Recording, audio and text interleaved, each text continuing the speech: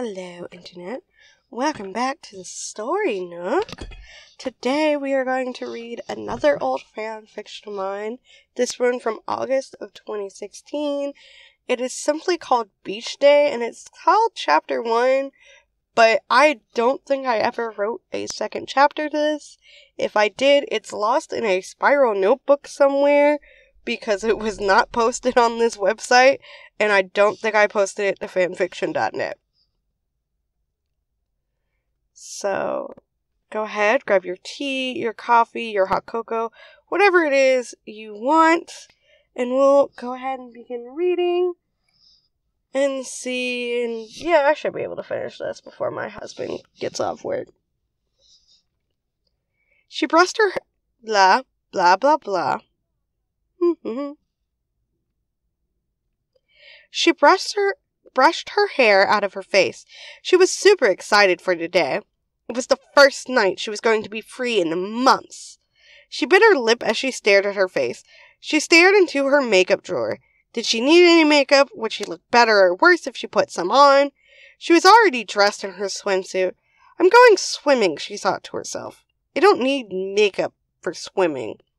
She closed the door drawer as she tweaked with her hair some more. Her hair had gotten longer over the years, and she had yet to cut it. Couldn't find the time was her common excuse when anyone asked, though they only asked when she was complaining about its length. She stood up and turned around in front of the mirror. Her swimsuit was a one piece, the top cut in a V, strings of seashells dangled from the breast line all the way around. Since the section swimsuit that covered the stomach was transparent, most would think it was a two piece. Amy beamed at herself. She looked good, and she liked that. The beach was a li- was as lively as ever. Several of Amy Rose's friends were there. Antoine and Bunny were lo- walking along the beach holding hands. It was beautiful. Hershey was laid back, tanning. Her husband Jeffrey St. John was asleep in a beach chair beside her. A book was covering his face. Sonic was standing by a grill cooking food. Knuckles was helping him. Sally was building sandcastles with Nicole, Blaze, Cream, and Cheese. Amy saw Rouge, Tails, Mina, and several others swimming in the ocean. Amy walked up to the sandcastle. Hey, what's up? She waved at, as she walked up. Wow, Amy, Cream clapped her hands together. You look like a model. Amy blushed. She's right, you really do, Sally beamed. Where did you find a swimsuit like that? Amy rubbed her neck. A family friend made it for me. Amy blushed at the thought of her mom's best friend, who also happened to be a fashion designer, but Amy was going to leave that part out. So, what have you been up? So, what's been up with you? Rouge flew up to them. You've been in Mercia so long it feels like you forgot all about us.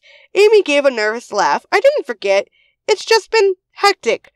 What with the new baby and little John going through puberty, Rob and Marianne have their hands full, so I've been helping with a few minor things here and there. Well, I hear you've been doing a pretty good job, Sally stated. You're becoming quite popular. Yeah, is it true that someone sent you a whole cart of flowers last month? Nicole asked with bright eyes.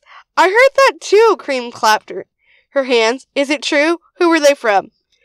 Amy giggled. It's true, a cart of flowers were sent to me, but they were potted. They were given to me because I mentioned I wanted to make a garden for some of the kindergartens in the country. That sounds awfully kind of the donator. But who was it? Blaze pressed. Amy sighed. She told he told me he didn't want anyone knowing they came from him. We'll keep it a secret, Rouge smiled as she sat down. Amy rolled her eyes. I doubt that. Just tell us, Cream begged. I really want to know. Shadow sent them, though I still don't know how we got so many, Amy added in a in a thought, but he's always had a soft spot for children. That's not all he has a soft spot for, Rouge mothered. But that does explain why he was shipping so many boxes from my club last month. Yeah, I knew it was him the moment I read the address. It actually didn't take long for me to get him to confess to it, but he doesn't want others knowing, so Amy held a finger to her mouth. The other girls mimicked. With that, they went on building sandcastles and playing.